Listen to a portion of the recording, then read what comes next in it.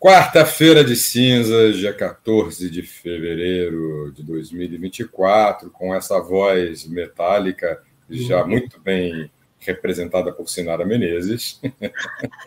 a gente começa o quadro tomando os memes de produção de hoje.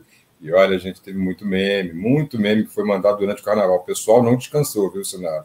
Então, quem quiser continuar a mandar, pode mandar essa arroba que está aqui, assim, arroba, underline, Felipe Pena, underline. No Instagram, você me manda por DM. E no Twitter pode me mandar também, só arroba Felipe Pena. Só me marcar que eu vou lá e seleciono os memes. Mas, Senara, Ana, chegou muito meme de fantasia de carnaval.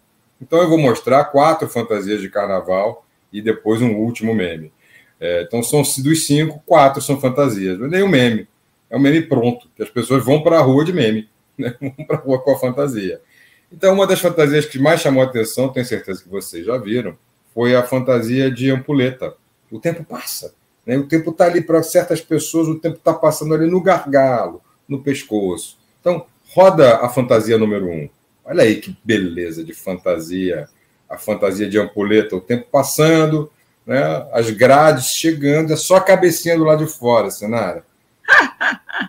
Muito bom, muito bom. É, não estou falando, Apocalipse está próximo.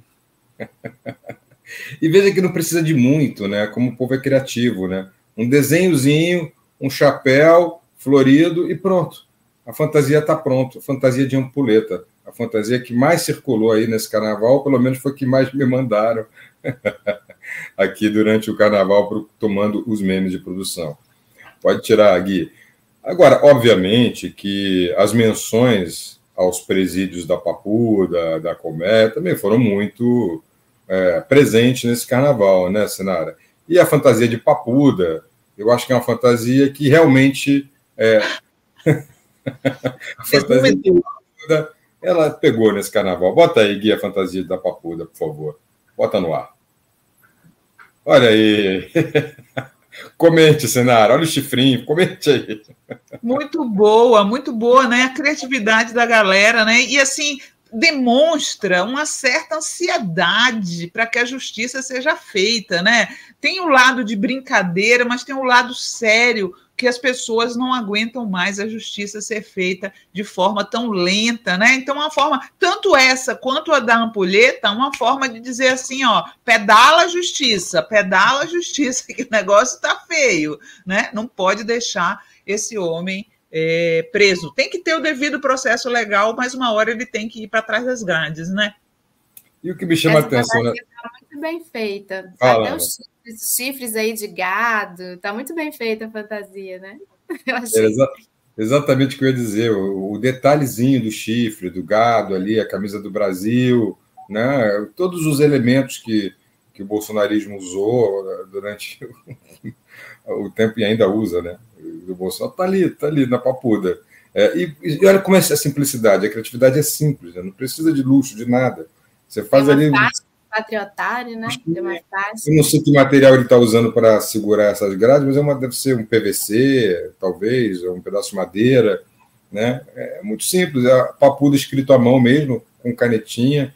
Então, é uma fantasia feita em casa. Né? Fantasia manufaturada. é muito fácil de fazer. Então, parabéns à criatividade, pode tirar. Obrigado, Gui. E aí, o, a terceira fantasia terceiro meme de hoje, Senariana, já foi assunto aqui. Por que, que o Bolsonaro está pedindo o passaporte? Bota aí o passaporte do mito, então. Aí, ó. Tá aí, ó. Esse, esse é, é IA, né? Inteligência Artificial. É. Mas é genial, não é não? É genial. genial.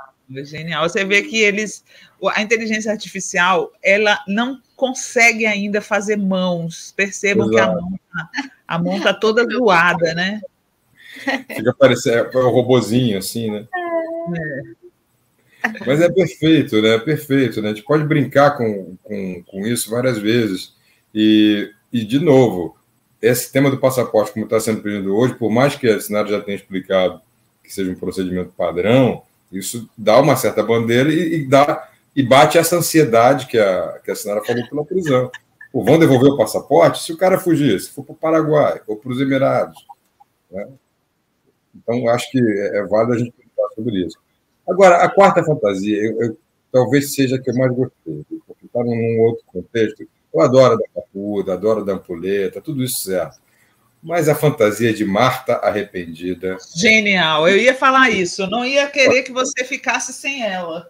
Ah, ela... não tem como, gente, olha isso.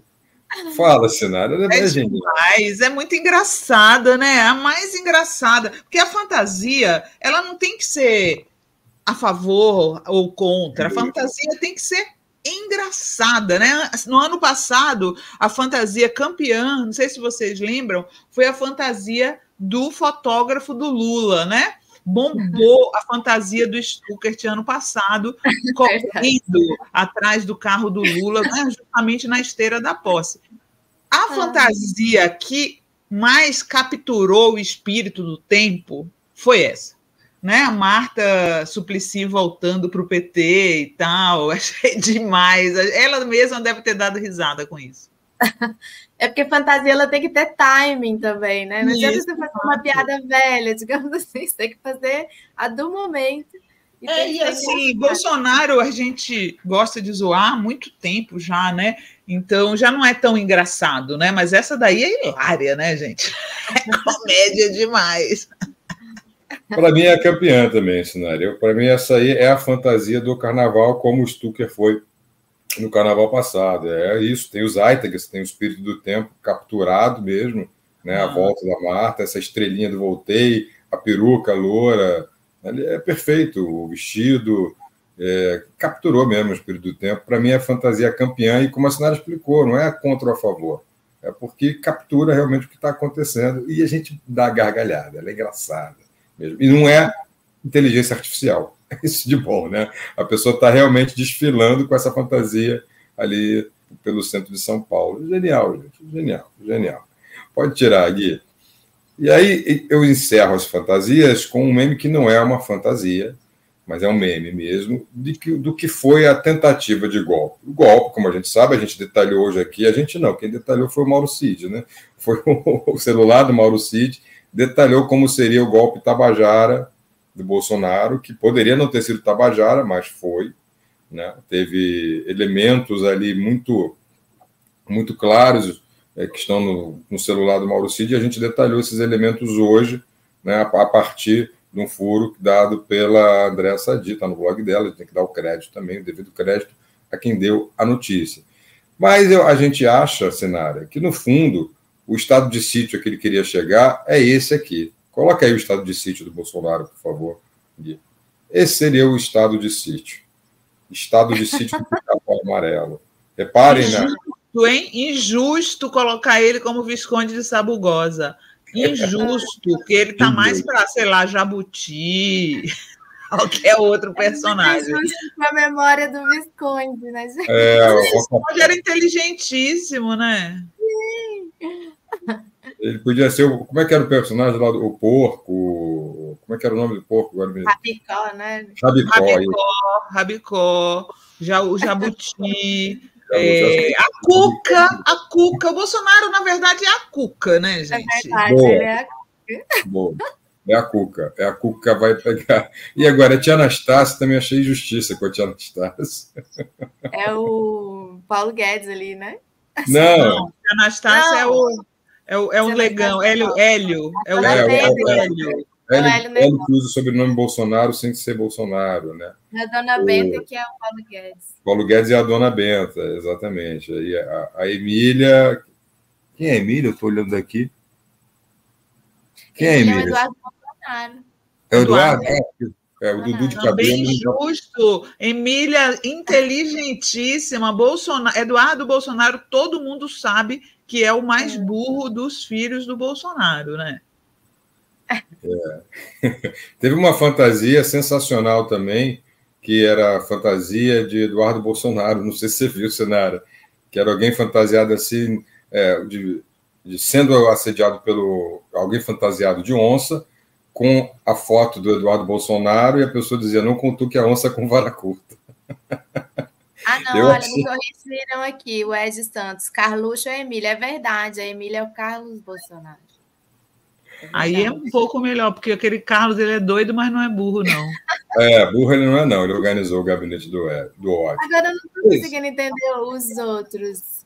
É, os outros Paulo Guedes é a Dona Benta, uhum. o Pedrinho é o Flávio. Não, a Narizinho é o Flávio e o Pedrinho é o Eduardo. É, é, são os três, três irmãos. Os três filhos, é, os três filhos. E a tia Anastácia, porque realmente é o único negro que faz parte da trupe do Bolsonaro, e ele utilizou muito essa imagem para dizer que não era racista, né? Vamos lembrar disso. Ele sempre aparecia com o Negão ali atrás dele para dizer que não era racista, né? A direita faz muito isso. Né? Pode tirar, Gui.